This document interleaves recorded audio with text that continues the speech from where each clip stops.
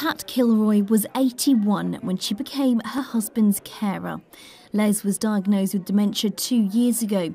What started with a forgotten PIN number escalated quickly and meant within weeks one of his lifetime passions, driving, had been taken away from him by doctors. It's broke his heart. He has never really got over the fact that the car had to go, and it went then and there because, um, you know, we didn't have any much choice. Uh, so uh, that was very sad. It was almost, well, it was a bereavement to him. He, he lost, or he lost something that was like a, a, a bereavement, and he's still sort of grieving, if you could say. Pat and Les are part of Wymondham's growing Pabulum Cafe, which is this week marking Dementia Awareness Week.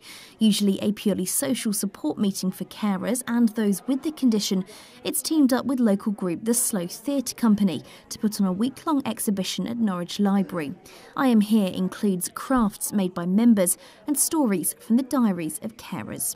There is more knowledge now about dementia, but there's still a lot of people who don't understand how to cope with somebody who has dementia and just out in the street or in the shops. And I think we're very lucky in Wyndham, a lot of shops have become dementia friendly. We all, as volunteers, have become dementia friends. We have lots of training. And it's amazing just the small things you can do to help somebody who is living with dementia. The centrepiece of the week long exhibition is this crochet forget me not sculpture. 60 people associated with the Pabulum Cafe have been involved in making the two hands, with 18,000 flowers, each one representing someone living with dementia in Norfolk. Artistic director Danny O'Hara says being involved has taught her a lot the exhibition should be able to show and to highlight what's it like to be a carer today.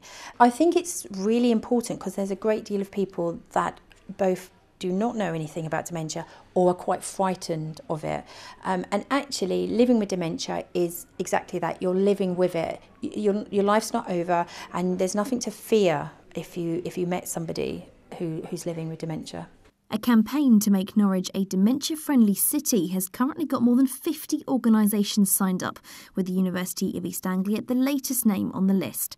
Alongside the sculpture, this week's exhibition at Norwich Library will also feature performances about the life of a carer, as well as a Q&A session with experts, all to give those trying to tackle the growing issue a helping hand. Lauren Du Bois, Mustard TV, Norwich.